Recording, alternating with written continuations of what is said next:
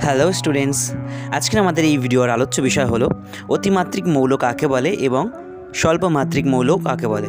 অর্থাৎ ম্যাক্রো উপাদান কাকে বলে এবং মাইক্রো উপাদান কাকে বলে? এবং উদ্ভিদদের ছয়টি অতিমাত্রিক মৌলের ভূমিকা। তাহলে চলো ভিডিও থেকে আমরা জেনে নিই অতিমাত্রিক মৌল এবং স্বল্পমাত্রিক মৌল কাকে বলে এবং উদ্ভিদদের ছয়টি অতিমাত্রিক মৌলের ভূমিকা।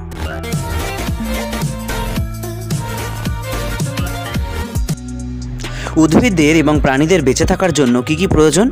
খাদ্য প্রয়োজন, বাতাস প্রয়োজন, জল প্রয়োজন, ভিটামিন প্রয়োজন, খনিজ পদার্থ প্রয়োজন।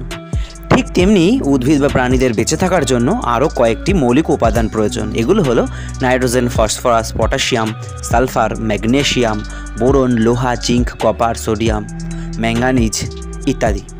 এই উপাদানগুলোর মধ্যে থেকে যেগুলো উদ্ভিদ দেহে সবথেকে বেশি পরিমাণে প্রয়োজন হয়, সেগুলোকে বলা হয় ম্যাক্রো উপাদান বা অতিমাত্রিক মৌল। আর এই মৌলিক উপাদানগুলোর মধ্যে যেগুলো সবথেকে কম পরিমাণে প্রয়োজন হয়, সেগুলোকে বলা হয় স্বল্পমাত্রিক মৌল বা মাইক্রো উপাদান। তাহলে অতিমাত্রিক মৌল কাকে বলে? উদ্ভিদ দেহে যে উপাদানগুলো সবথেকে বেশি পরিমাণে প্রয়োজন হয়, সেগুলিকে অতিমাত্রিক মৌল বলা হয়। এই প্রধান প্রধান ছটি অতিমাত্রিক মৌল কি কি? Nitrogen, phosphorus, potassium, sulphur, magnesium এবং ক্যালসিয়াম। নাইট্রোজেন, প্রথমে নাইট্রোজেনের কথা বলব। নাইট্রোজেন কার্বন, হাইড্রোজেন ও অক্সিজেনের সঙ্গে প্রোটিন ও উৎসেচক গঠন করে। নাইট্রোজেন ক্লোরোফিলেরও একটি প্রধান উপাদান। বিভিন্ন রকম ভিটামিনের উপাদানও নাইট্রোজেন।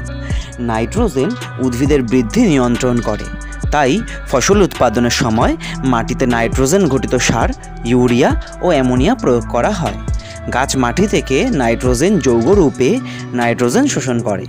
নাইট্রোজেনের অভাবে উদ্ভিদের বৃদ্ধি বাধাপ্রাপ্ত হয়, অর্থাৎ গাছ আর বড় হয় না নাইট্রোজেন না পেলে এবং গাছের পাতা হলুদ হয়ে যায়।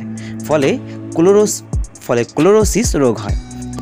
এই উপাদানটি গাছ মাটি থেকে নাইট্রেট এবং অ্যামোনিয়াম আয়ন রূপে শোষণ করে। এরপর বলব ফসফরাস।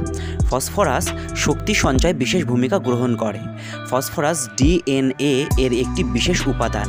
ফসফরাস উদ্ভিদের বৃদ্ধি নিয়ন্ত্রণ করে। ফসফরাস উদ্ভিদের মূল ও পুষ্প মানে ফুল, উৎপাদনে সাহায্য করে। ফসফরাস উদ্ভিদের রোগ প্রতিরোধে বিশেষ ভূমিকা নেয়। ফসফরাসের প্রভাবে উদ্ভিদের বৃদ্ধি ব্যাহত হয় এবং গাছের পাতা কালো ও নীলাহ সবুজ বর্ণ ধারণ করে।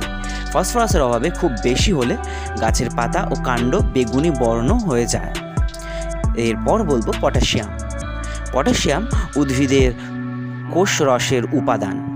পটাশিয়াম অনেক উৎসেচকের অনুঘটক রূপে কাজ করে। এই লবণ পত্ররন্ধ্র উন্মোচনে বিশেষ ভূমিকা নেয়। পটাশিয়াম উদ্ভিদ শর্করা পরিবহনে অংশ নেয় এবং পরিবেশে নাইট্রোজেন সংবন্ধনে পটাশিয়ামের বিশেষ ভূমিকা আছে। শস্যের গুণাগুণ পটাশিয়ামের উপস্থিতির ওপর নির্ভর করে। এই লবণ অর্থাৎ পটাশিয়াম শস্য দানাকে পুষ্ট করে। পটাশিয়ামের অভাবে ক্লোরোসিস রোগ দেখা দেয়। তারপর বলব সালফার। সালফার অ্যামাইনো অ্যাসিডের উপাদান, সুতরাং এটি প্রোটিন সংশ্লেষে অংশ নেয়। সালফার ক্লোরোফিল সংশ্লেষে এবং কয়েক প্রকার ভিটামিন উৎপাদনে বিশেষ ভূমিকা নেয়। নাইট্রোজেন সংবন্ধনেও সালফারের বিশেষ ভূমিকা আছে। সালফার, সালফারের অভাবে কচি পাতা, হলুদ বর্ণ ধারণ করে এবং উদ্ভিদের বৃদ্ধির হার কমে যায়।